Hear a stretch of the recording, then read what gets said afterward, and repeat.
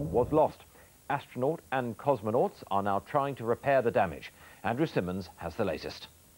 Michael Foale and two Russian cosmonauts were trying to manually dock a cargo ship to Mir when the collision happened.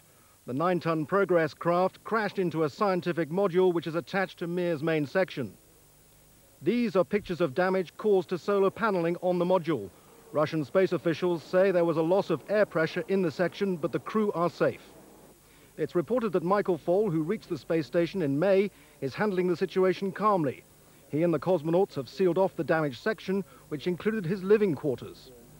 The Mir is made up of six interlocking modules. It was here in the Spektr module where calamity struck. Space officials say there are no plans for evacuation, but a Soyuz escape craft is always on constant standby. Mr. Foale's mother at home in Cambridge is keeping calm. It appears that this was this was a un very unfortunate accident, which I'm sure they're very upset about, but it isn't uh, life-threatening.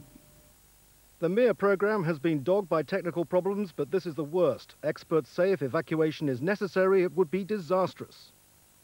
And if they have to abandon it, we've got another problem. What are they going to do with it? It'll take it several years to decay naturally, but can they dismantle it? Can they deorbit it piece by piece?